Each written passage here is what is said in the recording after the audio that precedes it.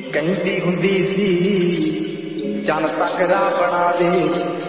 ਤਾਰੇ ਨੇ ਪਸੰਦ ਮੈਨੂੰ ਹੇਠਾਂ ਸਹਾਰੇ ਲਾ ਦੇ।